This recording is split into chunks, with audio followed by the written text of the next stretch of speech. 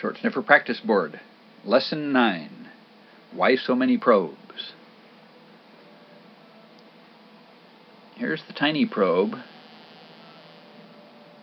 and I can move it across the signal looking for the maximum amplitude, and very little motion gets us to the peak and away from the peak.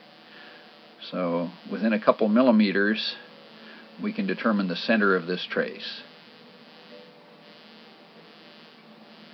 Now I'm going to turn the gain down.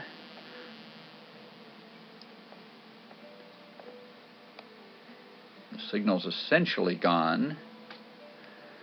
Let's try the normal probe. In the same general area, good strong signal. We have to move it quite a bit farther to lose the signal. So it's not quite as good at spatial resolution but good enough for most things. I'll drop the gain even further. And it's still picking up a pretty good signal here, but not quite enough to reliably trigger the direction indicator. Now go to the sensitive probe.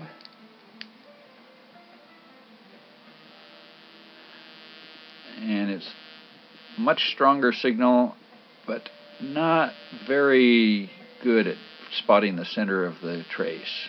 Much wider area of success, higher sensitivity. So if you need the sensitivity, go to the sensitive probe. If you need spatial resolution, go to the tiny probe. Most of the time, the normal probe is just fine. Normal is the yellow one.